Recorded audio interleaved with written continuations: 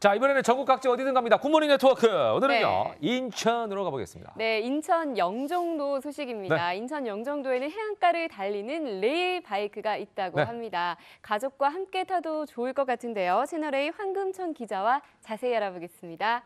황금천 기자, 안녕하세요. Good morning. 네, 좋은 아침입니다. 네. 네, 영종도 레일 바이크가 해안가를 달린다면서요. 예, 4명까지 탈 수 있는 4인승 레일바이크는 영종지를 출발해 해안가 2.8km, 왕복 5.6km를 달립니다. 음. 인천대교와 월미도, 송도 국제도시 등 인천의 해안 경관과 명소들을 감상하실 수 있는데요. 네.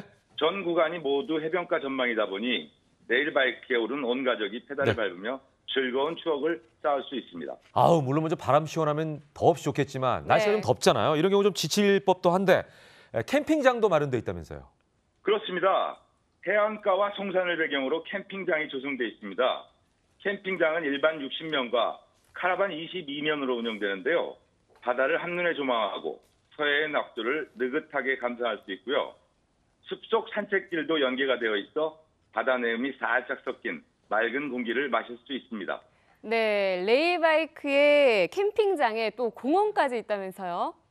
네, 그렇습니다. 영종 하늘도시 남쪽 해안도로 일대 177만 제곱미터에 조성된 공원인 시사이드 파크도 구경하기 좋은 곳입니다.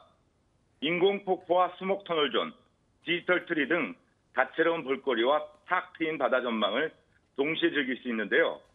가볍게 하이킹하기 좋고 자전거 타기도 좋고 해변을 따라 걷기도 좋습니다.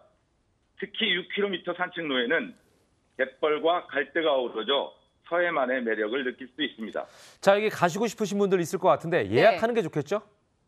네, 평일 오전 9시에서 저녁 6시까지, 주말엔 오전 9시에서 저녁 7시까지 이용이 가능한 레일바이크는 당일 현장 구매도 가능한데요. 대기자가 많을 수 있으니까요. 가능하다면 전날 홈페이지를 통해서 예약을 하시는 게 좋고요.